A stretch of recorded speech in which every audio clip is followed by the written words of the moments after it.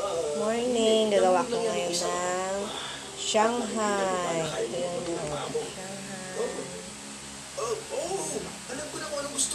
Tapos,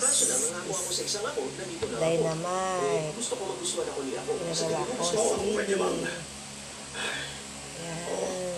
Sa tingin ko gusto ka niya. Tapos, nilagyan ng cheese. Tapos, lagyan ng giniling. Para maging masarap. Tapos, mamaya na.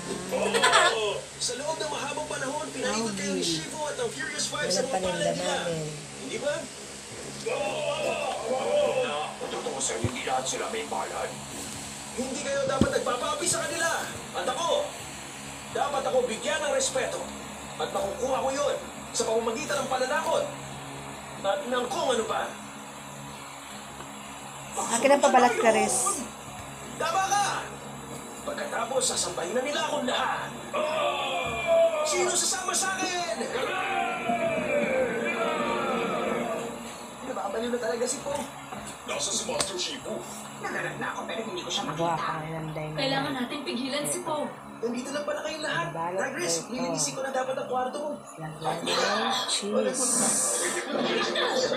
Yung galing! Yan Galing mo, Martis! Nahanap ko lang sila! Tahimik! Ah!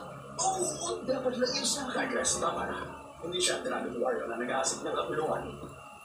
Sumama kayo sa akin. Ito araw-araw ko. Ang ganito. Ikaw din mo. na.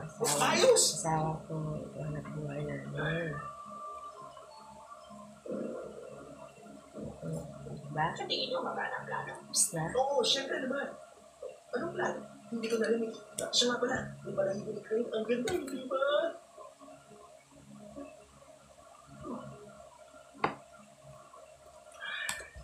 Kapag nakita naman sa pagbuo ng tension na sa salamin niya na niya, kagad magsasabi niya Ito naman ang tawag niya. namin sa kanya. Ay, di pong gaw, kung nagsitrick. Wala na.